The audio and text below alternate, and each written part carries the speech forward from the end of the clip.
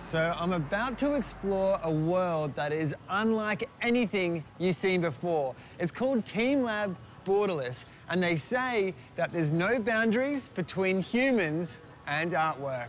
Follow me.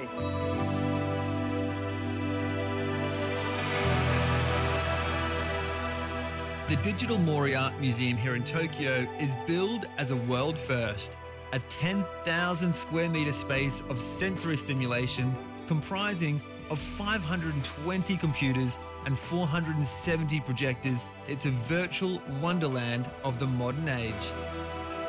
Creators TeamLab are a digital art collective made up of scientists, artists, and engineers, and their stunning creation debuted in June 2018. It's already been described as Tokyo's most Instagrammable spot, and it's easy to see why. With a myriad of differently themed rooms, it's a place where you can get lost and let your imagination run wild. Here, you can also create art as some of the pieces interact with the audience.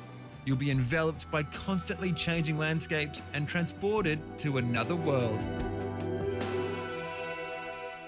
So I think this has got to be my favorite room. You've got hundreds of lanterns that all change color to represent the different seasons in the year. And the pink you see here, that's for the cherry blossoms.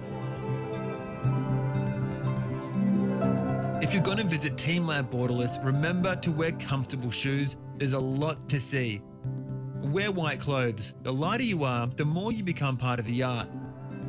Book ahead and give yourself plenty of time. And of course, bring the camera.